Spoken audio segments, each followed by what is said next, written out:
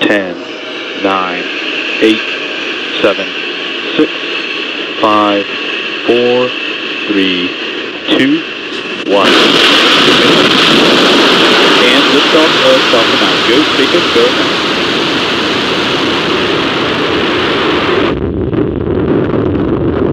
Vehicle's pitching downrange. Stage 1 propulsion is nominal.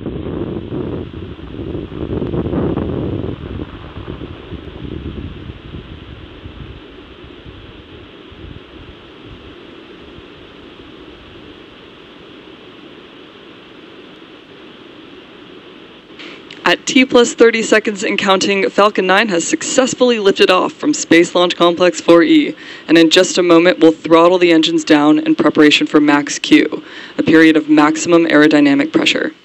This is a critical moment during flight because the combined stresses, stresses nominal. caused by Falcon 9 accelerating through the atmosphere and the ambient static pressure are at their greatest. Falcon 9 is supersonic.